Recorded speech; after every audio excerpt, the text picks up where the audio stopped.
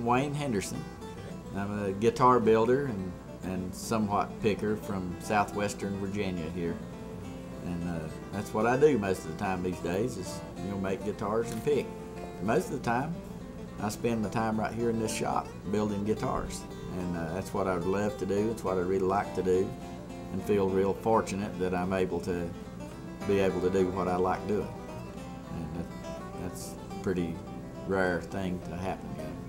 I talk about my little town here just out in Rugby, Virginia. It's only got seven people. And How many? Seven? Only seven. Yeah, right in downtown Rugby out here. And when I go out all over everywhere, you know, talking about my hometown, I always tell them about seven and tell them we have to take turns being the mayor and the school teacher, the preacher, and town drunk. Our community here is, you know, sparse and scarce. I, I was, for a long time, I was the mailman around here too, and I had to drive 82 miles every day to only have 250 boxes on my route, which that's not a lot of, not too many people.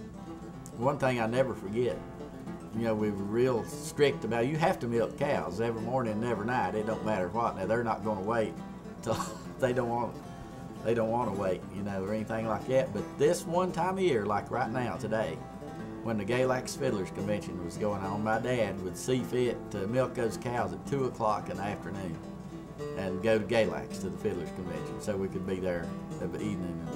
And then the next morning, those cows' udders would be, I mean, huge. They were probably in misery, I guess.